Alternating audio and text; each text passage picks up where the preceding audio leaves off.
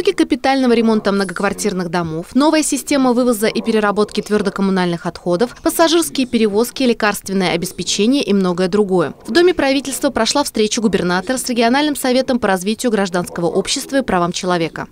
Именно поэтому я предлагаю обсудить указанные вопросы и предложения по их решению в ходе нашей сегодняшней встречи, ну и тем более детально обсудить такую вот концепцию деятельности Совета по развитию гражданского общества и правам человека.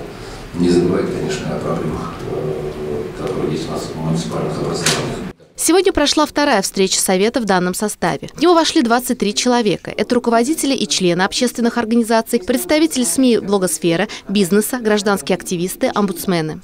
Планы грандиозные на самом деле. То есть именно э, брать самые острые темы, обсуждать их, привлекать экспертов в этой сфере и находить уже какие-то реальные выходы и какие-то ре реальные решения. Члены Совета обсудили ряд проблем, которые сегодня волнуют жителей области. Среди самых острых – это повышение тарифов на вывоз твердых бытовых отходов, вопросы лекарственного обеспечения, транспортного обслуживания, организация контроля за питанием в детских садах и школах, защита прав дольщиков. Совет по развитию гражданского общества и правам человека должен стать площадкой не только по обсуждению насущных проблем ульяновцев, но и по поиску их решения. Для этого будет создана целая стратегия. У нас действительно принята стратегия развития Ульяновской области до 2030 года.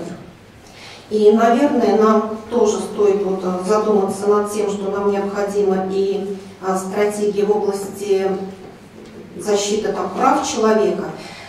Проект такой стратегии мы вот совместно с общественными организациями а, разработали. А, вот готовы вам представить и представить всем вот участникам и всем членам Совета для дальнейшего а, обсуждения, внесения предложений. В итоге специальный документ должен стать дорожной картой до 2030 года для последовательного решения острых социальных проблем всех категорий граждан, особенно когда вопросы касаются незащищенных слоев населения. Наталья Чумаченко, Юрий Ломатов. Новости Ульяновской правды.